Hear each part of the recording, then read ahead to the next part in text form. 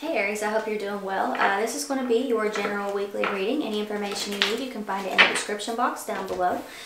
Uh, there was something else I was going to say. I do have another channel. It's not a tarot channel. I'm just kind of talking over there. I'm not really sure what to um, what to make of that yet. I'm just kind of going with the flow over there. If you want to check it out, the uh, link's down below in the description box. Let's go ahead and get started here for you, Aries. This deck is really hard for me to shuffle um, when they're all together. If you're wondering why I was shuffling it in sections, it's just kind of difficult to do it like this without them flying everywhere. I have tiny hands and this is a big deck of cards, okay? So just bear with me here. I'm going to do seven in overall energy. Now, Aries, I want to remind you, um, you know, about the way that I read. Uh, this is all, these each individual card can represent different situations. So I want you to know that right off the bat. Some of these situations are very specific with these cards. So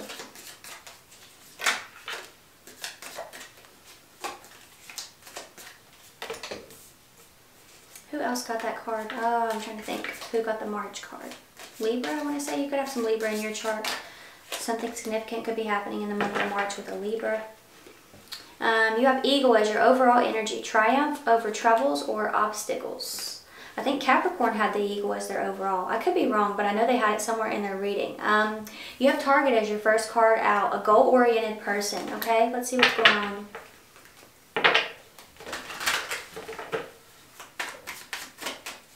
What's going on with Target for Aries?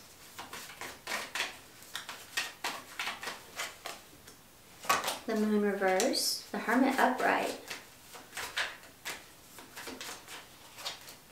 seven of wands. I feel like you have this laser focus about you here this week, Aries. Um, you have the moon in the reverse position. I think you figured some things out. You know, something's coming to the light, something's coming to the surface here for you with the moon showing up in the reverse position. It can represent hidden things upright, okay? Um, and I think that you are, um, you know, realizing that you have a lot of reflecting to do because you have the uh, Hermit showing up here. This is a card of introspection. I think that this is uh, referring to your destiny or your legacy with the uh, star card being on the bottom of the deck here. So I feel like you know what you want or you're figuring that out here with that Seven of Wands energy showing up, okay? So I feel like there could be some like retreating, some isolation.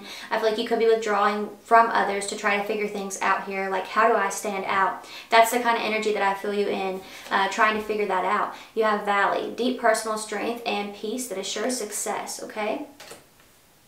deep personal strength and peace that assure su success. Okay, what's going on with this here? What's going on with that? What's going on with the Valley card? Seven of Swords, Moon and Aquarius. What else? you could be coming up with a new strategy for success, okay? I think that's why Target is here as well. Um, Seven of Swords can be a card of strategy. You know, traditionally his land was invaded. He had to figure out how to get things back from those who invaded his land. He had to come up with um, a strategy, okay? Can be a card of theft because of that reason. Uh, trickery, deception, right? This could even be you deceiving yourself. You have the King of Swords here. That's a card of truth, honesty. He's the only court card who will face you straight. So to me, that speaks a lot about, you know, knowing the truth, accepting the truth truth, seeing it, speaking it. What else? And I think that's another way that assures success here. Yeah, Ten of Cups, that's a card of happiness, is honoring your truth, you know? Uh, with the Seven of Swords, not cheating yourself out of living in your truth, right? Because I feel like the more that you speak truth, the more that you are going to attract true energies. Um, so yeah, I, I, think that that's something that's important to recognize here as well. Um, you know, speaking your truth, honoring your truth, respecting the truth of others here. Um, you know, that you could have a lot of unanswered questions and, you know, once you start, you know, stepping into that energy of not being afraid to sit in your truth, I feel like you start to receive the answers to those questions questions, you start to receive truth. Uh, what you put out, you're uh, getting back. You have wind chimes, peace, and harmony. So what's going on with this here for Aries?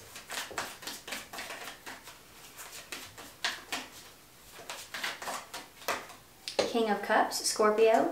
Got a Scorpio card here. What else?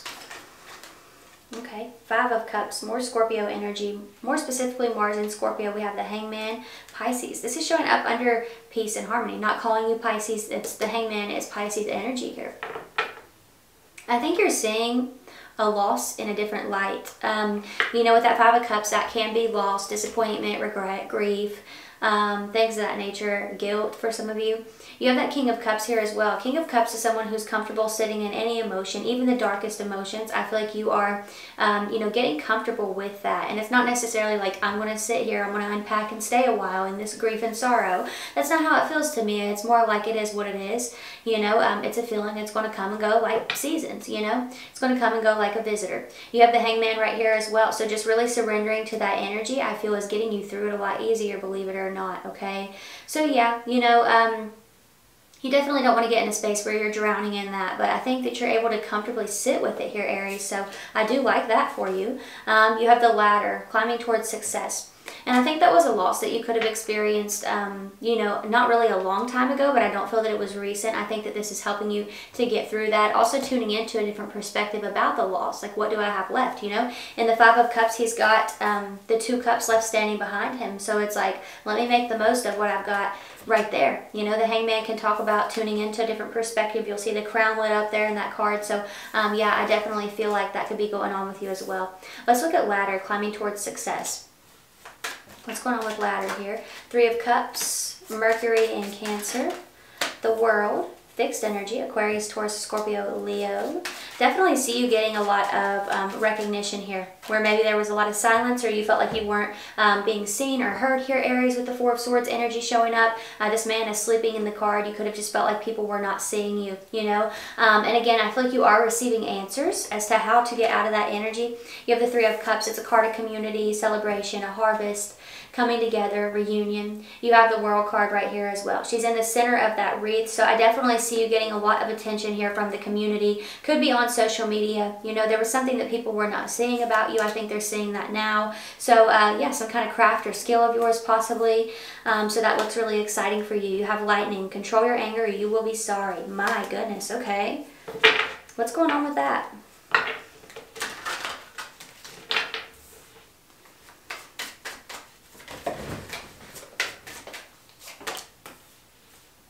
Four of Cups, Moon in Cancer.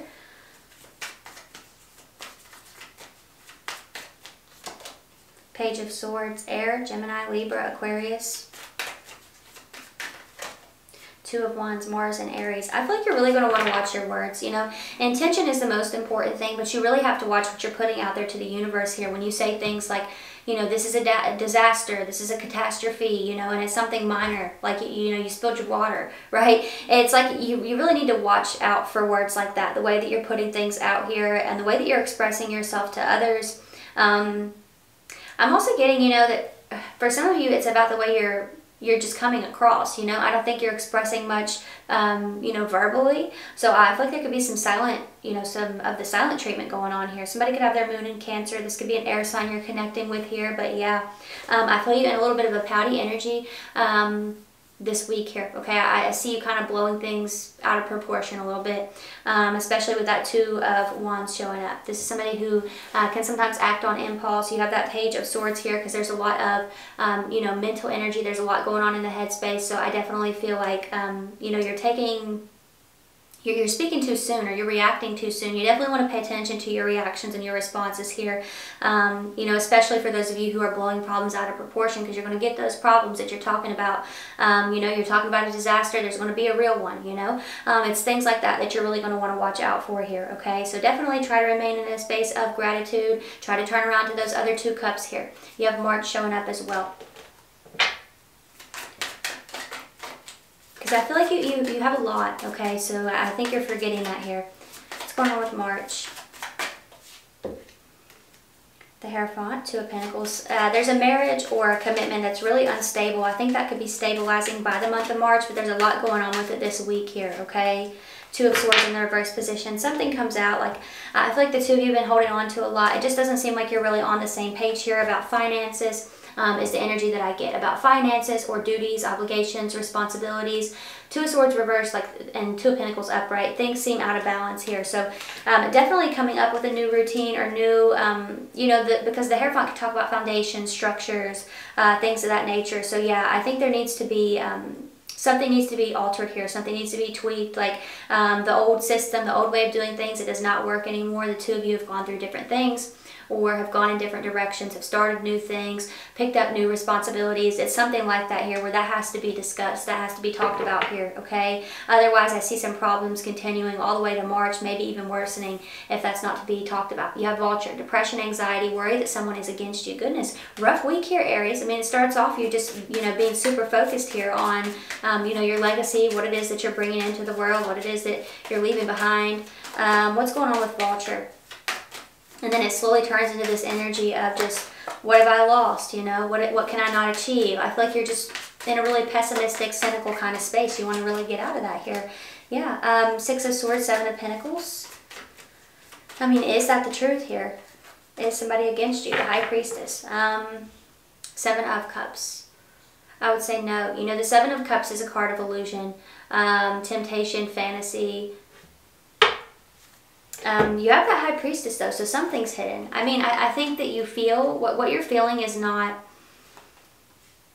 is not completely an illusion, but I don't think that uh, I don't think that somebody's necessarily working against you here, Aries, if that makes sense. It's like you feel something's off and you're right, but it's not coming from someone else. It's coming from inside the house here, Aries. you got that high priestess. This is something behind the veil here. So yeah, I definitely feel like some um, work is to be done here. I think a lot of you have a lot of uh, past issues to let go of. You got the Seven of Pentacles here. He's really focused on those pentacles piled up on the side over here. There's one on the other side that he's not looking at. This is all about perspective. You know, truly, it's all about perspective. You're just not seeing what you have or you're just not seeing where you can go. Six of Swords, you're seeing, you know, where you are and where you've been. So, um, yeah, I feel like there needs to be more future, more future thinking here so you can have triumph over these obstacles. What was that? Mountain, um, major challenge to overcome. Yeah, okay, for sure. Take care. There will be a loss of material wealth. You, have got a lot of these warnings showing up here. The good thing about tarot is this this isn't just predictions. It's talking about possibilities, and you have free will. That at any point in time can overpower the cards. You have bear, danger, especially in money matters. Definitely, definitely watch out here. You have wall, misunderstanding. I feel like you're not really understanding where these issues are arising from. You have the leg. It's because you need to step into a new experience. There's something here that you have outgrown, okay? Or there's something here that's just no longer working. It's got to be changed. Maybe you're one um, that doesn't really like change, but sometimes it has to happen in order to make things work. So, um, yeah, that's what I feel going on here, Aries. A lot of, um, you know, reflection, um, a lot of finger pointing, but I, I do see you kind of um, moving that back to yourself and figuring out, you know, how can I take control of the situation. A lot of people don't really like to take accountability for that reason because they don't like to take blame. But, you know, if you aren't the problem, then you can't be the solution. I forget who says that. That's not mine, by the way. But, uh, yeah, I think you're, you're trying to figure out how you're part of the problem here, figuring out how you can fix this, okay? Because you do have the ladder, climbing towards success. I feel like you're on the way there, but, you know, I think there could be a few detours when it comes to the, the blame game kind of energy, right? Um, and just definitely keep an eye on your finances as well. But that's what I'm saying for you, Aries. I hope that this was helpful, and I hope you'll watch out for your other signs. But if this is where we part, thank you for watching and supporting me this far, and you enjoy your week. Bye.